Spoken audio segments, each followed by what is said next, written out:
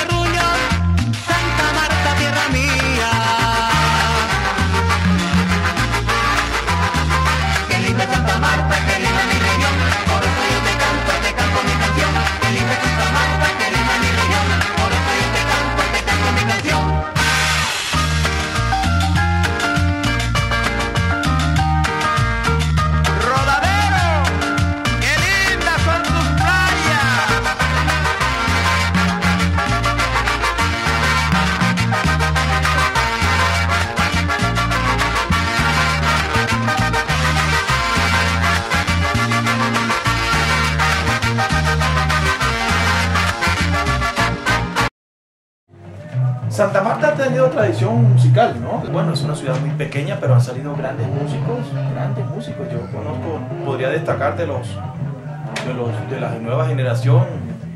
Hay un pianista muy reconocido mundialmente, Milton Salcedo, Samario, quien vive en, en los Estados Unidos, un gran productor y un pianista extraordinario.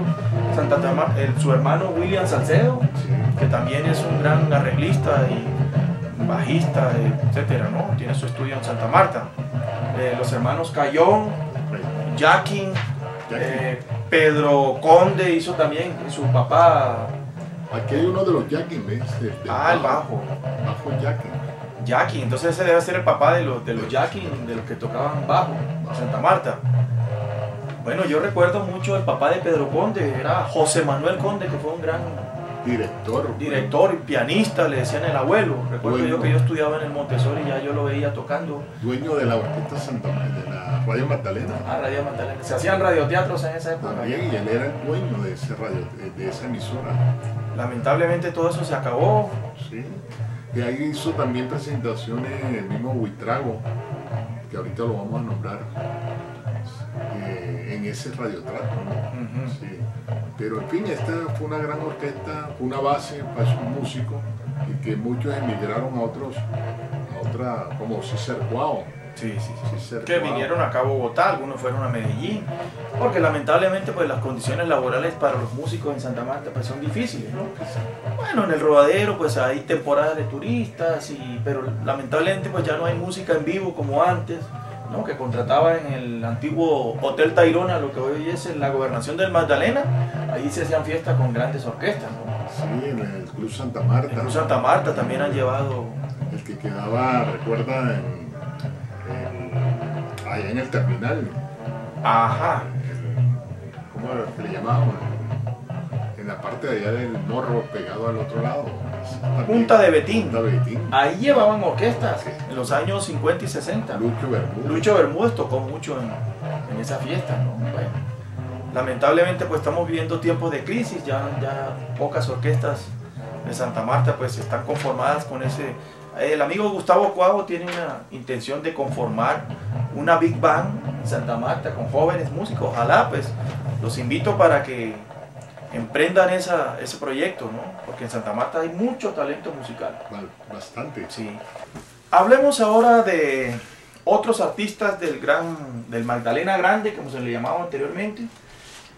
Vamos a hablar. Ah, del Magdalena, porque todavía pertenece, cierto, Cine hace parte de Santa Marta. Sí, me, Cuando- me refiero que el departamento de Magdalena anteriormente se le conocía como el Magdalena Grande, que cubría los de- lo que hoy es el departamento del Cesar, en fin. Vamos a hablar de un gran artista que algunos dicen, bueno, se le menciona como uno de los impulsores del género vallenato que se conoce hoy en día. Estamos hablando de Guillermo de Jesús Buitrago, un cienaguero, ¿no? Cienaguero. Padres Antioqueño. antioqueños, paisas, Pero la madre es cienaguera. costeña, cienaguera. Cienaguera. ¿Qué podemos de- rescatar de, qué podemos destacar de, de Guillermo Buitrago? Buitrago se puede decir que fue un estilo propio. eh, yo, no, yo no diría que vallenato prácticamente, porque esto era un trío. Esa es la influencia antillana en Cubana, en- sí. Porque aquí, aquí en el rasgueo, por ejemplo, en la guitarra de ese vallenato de esa época, está la influencia del trío Matamoro de Cuba, el rasgueo, ¿no? Del, Sí. del son cubano. Sobre todo que él no tiene trabajo aquí de acordeón. Tú lo No. ves, ellos es eh, dos guitarras Sí. y una guacharaca. ¿no? ¿Quién estaba ahí? Ángel Fontanilla, ¿no? Fontanilla. ¿Quién más estaba ahí? El mocho, el mocho. ah, Mocho. Ya hasta fallecieron, ¿no? Sí, ya todos fallecieron. Ahí están Án- Ángel Fontanilla y el Sí. mocho. El mocho, sí, el mocho. Sí. Bueno, aquí estamos viendo el testamento y otros cantos de Guillermo Buitrago, quien fue de los casi primeros que grabó esa música de la provincia del Cesar y de la Guajira, ¿no? Le grabó temas a tanto a Escalona como a, a otros compositores como A Tobías. a Tobías Enrique Pumarejo. Pumarejo, a, a muchos.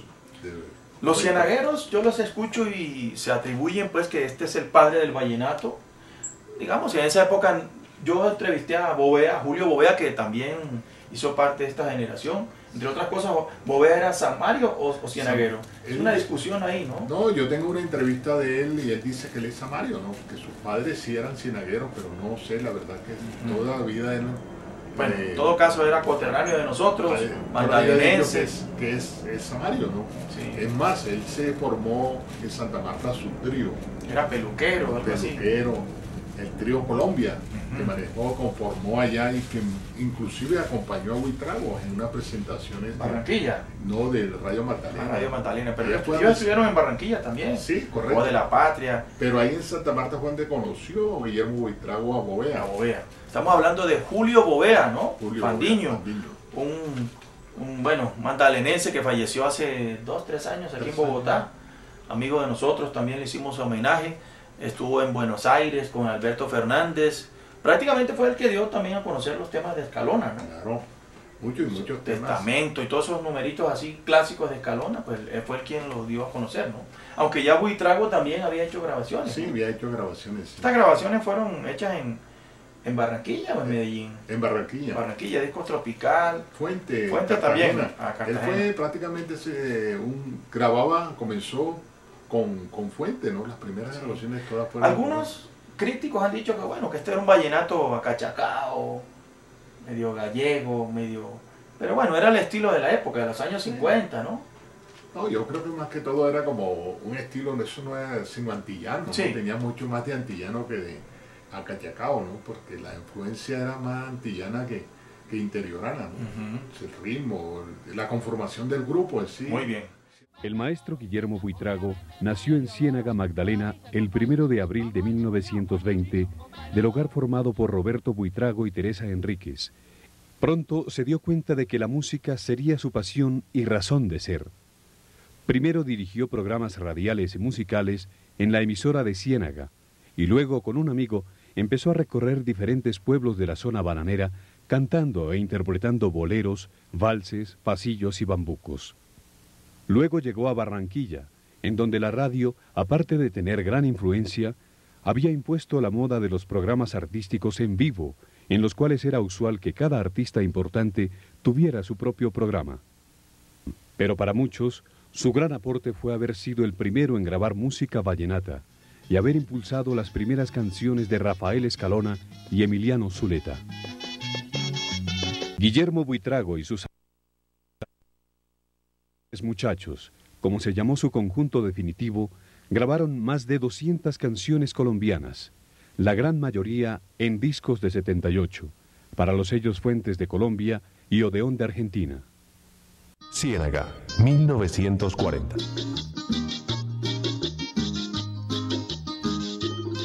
Época del auge de las bananeras. La cultura y los negocios florecían por doquier.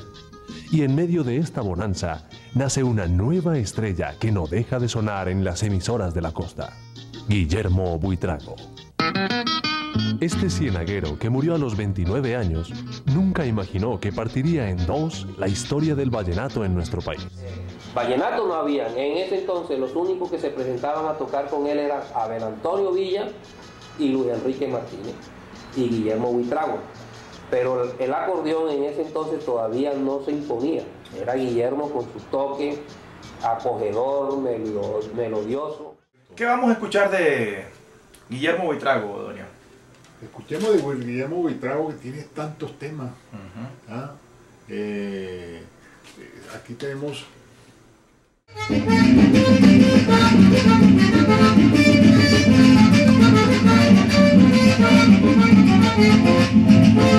Estamos escuchando a Guillermo de Jesús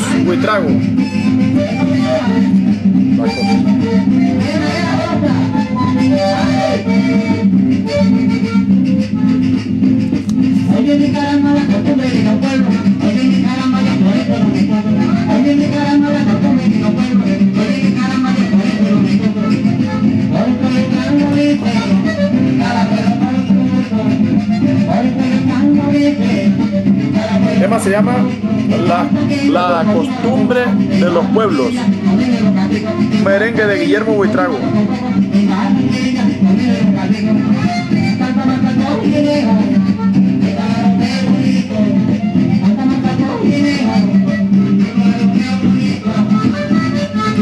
Menciona aquí a Santa Marta, Cienaguero.